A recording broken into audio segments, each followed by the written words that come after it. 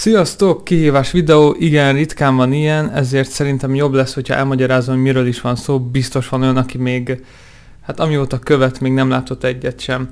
Arról van szó, hogy küldhetek nekem szerkezetet. Csináltok valami érdekes, látványos, érdekes, mit tudom én, egy tök jó reston szerkezetet, illetve command block szerkezetet.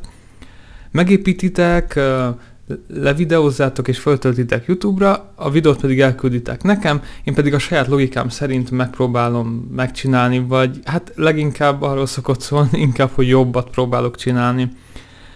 Szóval építesz valami érdekeset, levideózod, felrakod, és azt elküldöd nekem, én, én is megcsinálom, én is levideózom, és kirakom a leírásba a linket.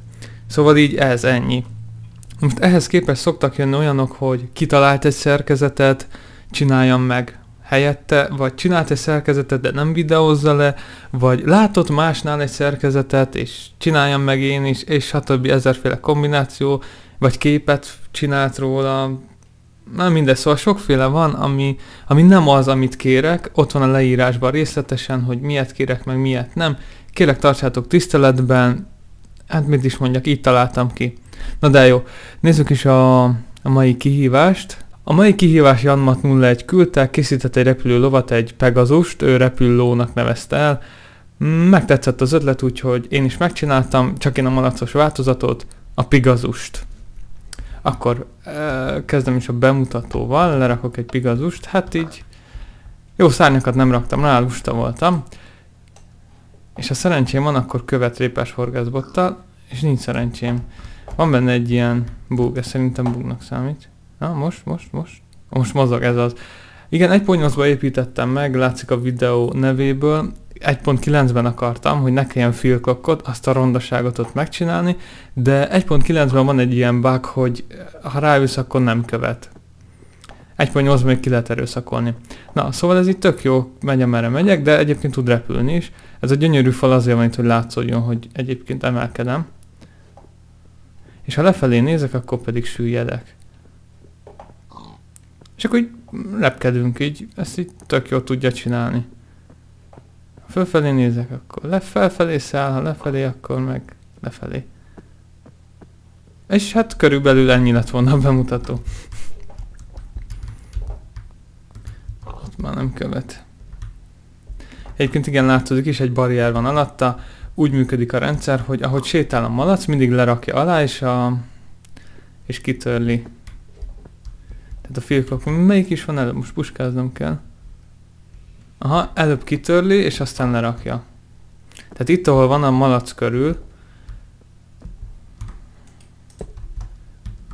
körülbelül nem.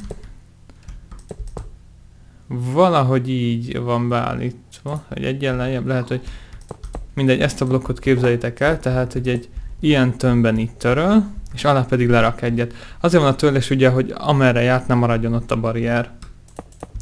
Viszont mivel ez filkok olyan gyors, hogy nem esik le, mert ugye az alatta lévőt is kitörli ilyenkor, de azonnal vissza is rakja. Így tud repülni. Igen, ez a kivégzés azért nem egy parancsból áll, mert lerak egy armosztendet, amit kiüti a barriert, és aztán az armosztendet is, azért, hogy ne maradjon ott. Na, szóval ez a kettő igen, mint mondtam, de azért megmutatom közelebbről. Az első az kitörli, lefuttatom a malaccal, execute parancs, fill a körülötte lévő blokkokat, levegőre cserélje le, replace a barriert. A másik ugyanígy kezdődik, hogy malaccal lefutatom, csak itt egy set block van, hogy alá rakjunk le egy barriert. A keep az nagyon fontos itt a setblockban, ez mondja meg, hogy ha levegő van ott, akkor. Tehát, hogy így, hogyha mit én elrepülök így, így a commandok fölött így, akkor ne törölje ki a commandokot. Jó? Ez a kettő, ez egy másik ö, ö, órajel, ilyen hopperes, ez a magasságot állítja.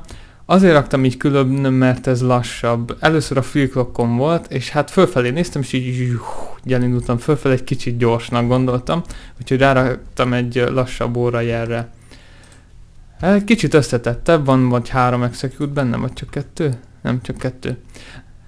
Lefutatom a malaccal, hogy a hozzá legközelebb lévő játékossal lefuttatom, fú, hát ez, ez, ezt érdekes lesz elmagyarázni, jó, akkor kezdem, kezdem először csak az elvet. Tehát van a malac, megnézem, hogy a, a rajta lévő játékos merre néz, és hogy egy kicsit arrébb, és hogy levegő van-e fölötte.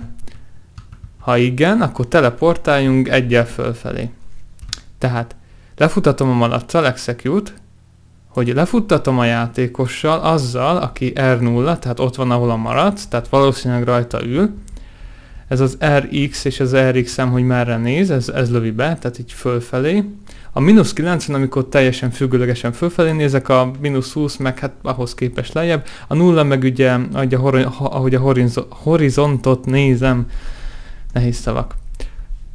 Aztán van benne egy, detect, hogyha levegő van fölötte egyel, és itt a TP parancs a végén, akkor a játékos teleportálja a malacot, aki ugye ott van, ahol ő, megint R0, egyel följebb.